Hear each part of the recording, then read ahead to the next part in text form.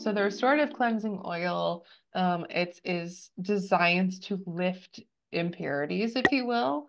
Um, it is still super nutritive, but you wouldn't leave it on the skin because of the manuka oil. It's just too thick. It wouldn't feel comfortable. Um, the anti-aging facial oil is designed to be a moisturizer. So you apply it to the skin and leave it on the skin.